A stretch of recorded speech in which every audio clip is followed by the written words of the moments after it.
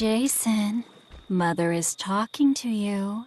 Put the weapon down and come to Mommy. That's a good boy. That's my Jason.